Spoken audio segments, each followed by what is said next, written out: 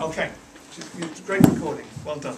Thanks. Um, so we're told un is 5 to the n plus 2 to the n minus 1. Find u1, u2 and u3, subbing in the numbers. u1 is 5 plus 2 to the 0, so that I would make as being 6. That is right, isn't it? Yeah. u2 would be 5 squared plus 2 to the 1. So that's 25 plus 2, so that's 27. Now, we found u2, Yeah. but we still haven't found what we're looking for. so u3, Yeah. thanks, thank you. It's been on so many. Would be uh, 5 cubed plus 2 squared, so that's 125 plus 4, so 129. And lots of you wrote 6, 27, 129, just wrote the answers and got all the marks. Two, hence suggest a positive integer other than 1 which divides exactly into every term of the sequence. Well, what divides into every one of those three terms? 3, that's it. There we go. We've just picked up the three marks that most people picked up by considering, now look at this, look at this, look at this. By considering un plus 1 plus un.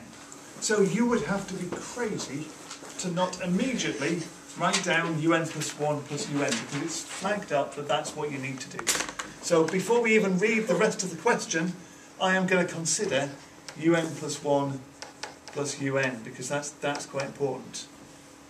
Now un plus 1 plus un is going to be 5 to the n plus 1 plus 2 to the n plus 1 minus 1, so that's 2 to the n, plus un, so plus 5 to the n plus 2 to the n minus 1. Now, um, again, I look at that and I think I'm, there's no way I'm leaving it like that because I, can, you know, when we write something, our instinct is to collect together like terms and do something with it. It's 5 to the n plus 1 plus 5 to the n plus 2 to the n plus 2 to the n minus 1. Now these two terms here, we can do some factorising these, can't we?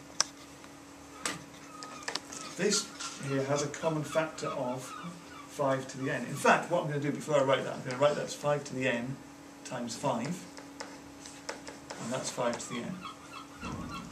And, and over here, well, I'm going to keep this as being 2 to the n minus 1. This is 2 to the n minus 1 times 2. And this is 2 to the n minus 1. So if I take out my common factors, this is 5 to the n, brackets, 5 plus 1. And this is 2 to the n minus 1, brackets, 2 plus 1. So we've got 6 lots of 5 to the n, plus 3 lots of 2 to the n minus 1. Ah, that's interesting, because 6 and 3 are also both multiples of 3. What did the question actually want me to do? I've considered un plus 1 plus un, as it asked me to. Prove by induction that your suggestion in part 2 is correct. Right, I need to prove by induction that uh, everything in this sequence is divisible by 3. Well, I, have already actually checked it. u1, u1 we got as being, what was it? 6. Was it 6? Um, which equals 2 times 3, therefore multiple of 3. So now I'm going to assume that um, UK is multiple of 3.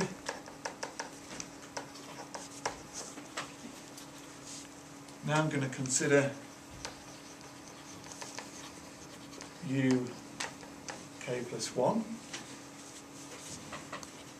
And, uh, and UK plus 1, what do I do with this? Um, so I need to show that this is UK plus 1 is equal to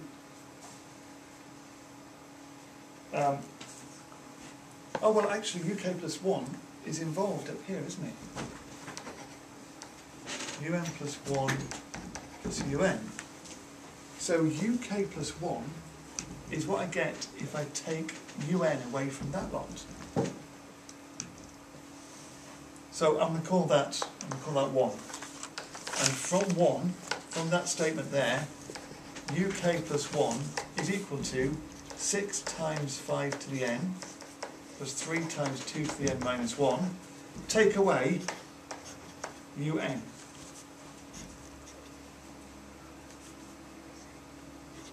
Okay? And, and we're pretty much there actually with that. This bit here is 3 times 2 lots of 5 to the n plus 2 to the n minus 1. So that's divisible by 3 minus un, which is divisible by 3. Um, which is all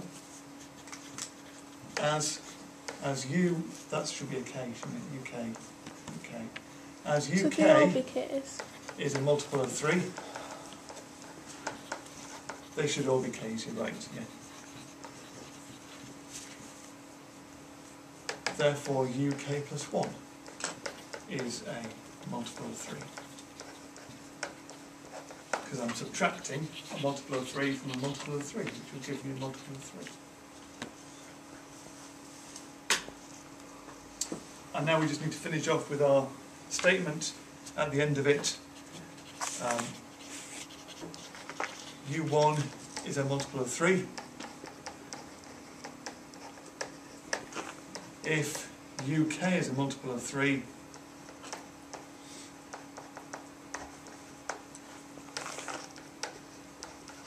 then uk plus 1 is a multiple of 3. Hence, by mathematical induction,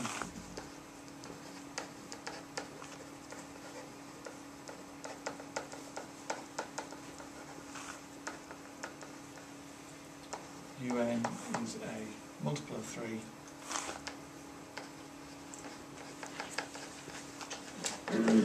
For all integer n greater than or equal to 1, because we showed that it was true for 1, so it must be for all greater than and that's it.